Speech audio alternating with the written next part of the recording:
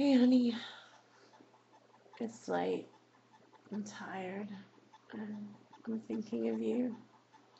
Missing you and wondering how you're doing. I just wanted to tell you that whenever you go to sleep at night, to have sweet dreams of me and that I love you so much. Be safe. know I'm thinking of you, okay, Daniel? Forever and ever, baby.